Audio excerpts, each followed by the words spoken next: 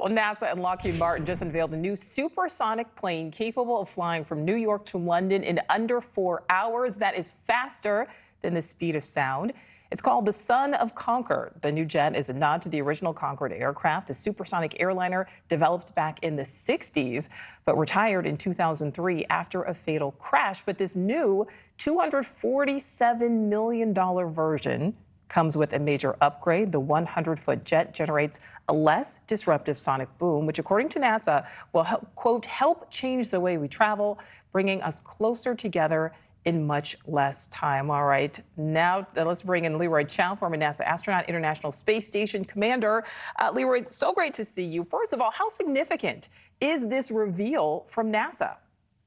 Well, this is exciting because this is the first X plane that is supersonic in a number of years, but not because it's going to go faster or higher than previous airplanes, research airplanes, but because it's going to be much quieter. As you mentioned, the Concorde uh, passenger airliner was developed in the 1960s. It was very much restricted because of how noisy it was. Not only its engines, but also it was not allowed to go supersonic over land because the sonic booms would, you know, smash windows and just and cause other uh, property damage. And so this research airplane is being designed so that the shape allows it to not compress the sonic uh, or the uh, the pressure waves as much. Uh, and it reduces that sonic boom. So it, it is a technology uh, research airplane could lead to some things that would create quieter SSTs or supersonic transports in the future. So pretty cool to, to see the unveiling and looking forward to the first flight later in the year. And I have to say, looking at these pictures, it really does look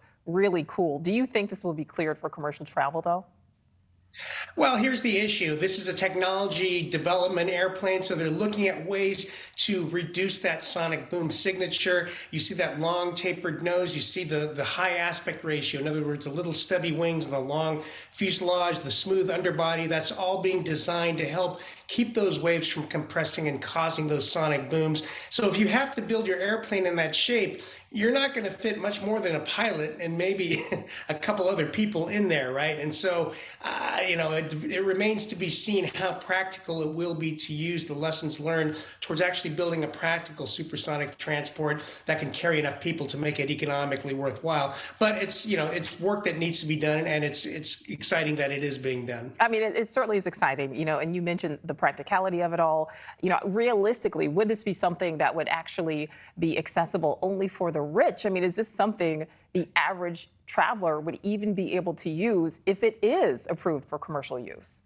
Well, that's a great question because even Concorde, the average person, uh, you know, maybe you had the money to buy the ticket, but you're not going to, right? So it was really the uh, the purview of the wealthy uh, who, you know, didn't really care how much the ticket cost, and so you could see that an SST might be that way. Uh, something like this could be adapted to a more of a business jet SST where you don't need to carry as many people, uh, but to do a full scale airline, uh, it'd be a tough to to have it make money. The Concorde was never a moneymaker. You know, it's more of a prestige item for Air France and British Airways.